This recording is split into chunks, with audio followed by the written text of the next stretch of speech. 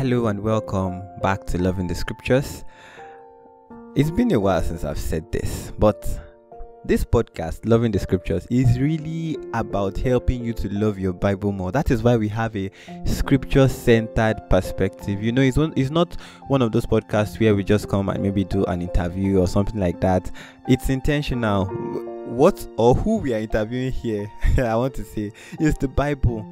The Bible is our guide, is our light, and we are seeing how to derive profit from the Bible, how to learn, how to grow, how to get to know God by the Bible. This is why it is called loving the scriptures. This is why it is called our social media handles are called We Love Scripture.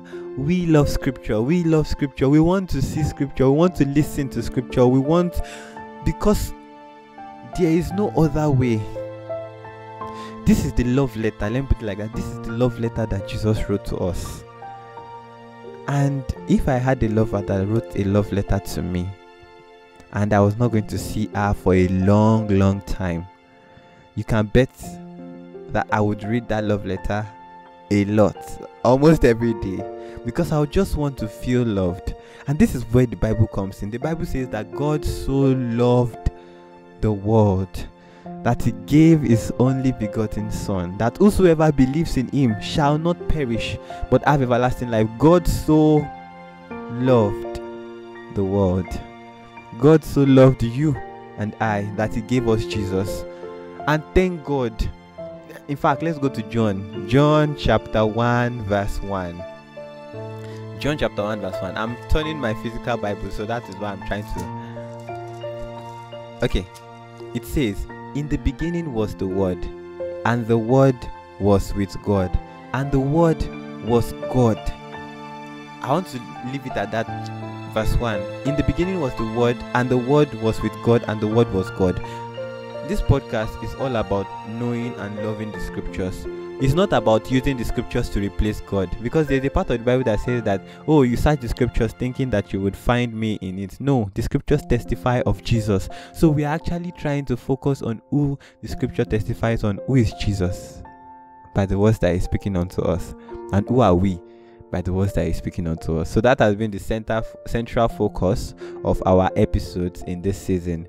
And as we go on to read from the book of Matthew, chapter 11, from verse 20 to 24. And just to learn another thing about Jesus today again, let us pray.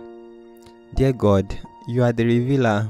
You are the revealer. You are the one that can take words and bring life from it. You are the one that can that can literally make these words exciting to us is that spirit of revelation that can come upon these words and they will jump, they will shout for joy. In our hearts, they will live. Lord, we want to see that. We want to experience the joy that comes from Scripture. Lord, teach us yourself. Teach us, teach us, teach us. In Jesus' name we have prayed. Amen. So, Matthew chapter 11 from verse 20 to 24. I would be reading, but even after we finish the episode, I would really like you to meditate on the text yourself. It says, Then began he to upbraid the cities wherein most of his mighty works were done, because they repented not. Woe unto you, Chorazin! Woe unto you, Bethsaida! For if the mighty works which were done in you had been done in Tyre and Sidon, they would have remained they would have repented long ago in sackcloth and in ashes. But I say unto you, it shall be more tolerable for Tyre and Sidon at the day of judgment than for you. And thou, Capernaum, which art exalted unto heaven, shall be brought down to hell. For if the mighty works which were done in thee had been done in Sodom, it would have remained until this day. But I say unto you, that it shall be more tolerable for the land of Sodom in the day of judgment than for thee. And that is the text that we're reading in our episode for today. So, Remember our two basic questions that we always ask ourselves What is this telling us about Jesus? And what is this telling us about ourselves? Okay, let's look at the text again. So, the text says that Jesus began to upbraid the cities that he had done his most powerful works in. And what does that show us? It shows us that sometimes, sometimes, the people that God has like that it seems like God has invested the most in, that He has preached, He has made sure that you heard the message, made sure that you were born a believer, and all of those things.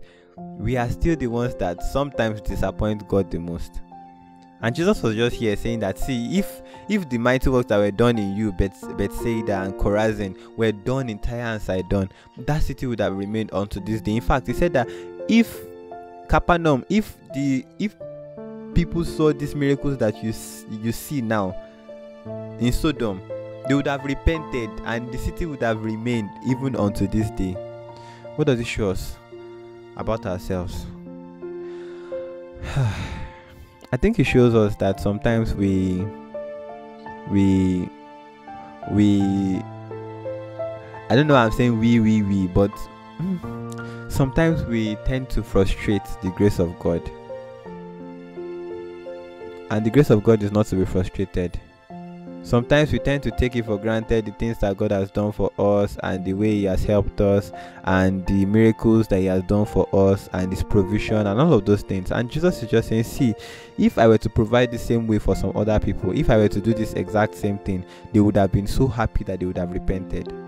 So now, what is the what is that showing us about ourselves?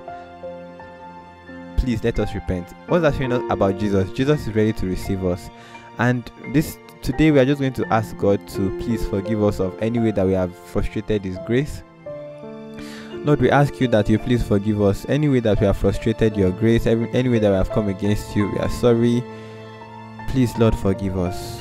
The ability to be able to appreciate and honor everything that you have done for us, please give unto us in Jesus' name. We say thank you, Jesus, for your our prayers.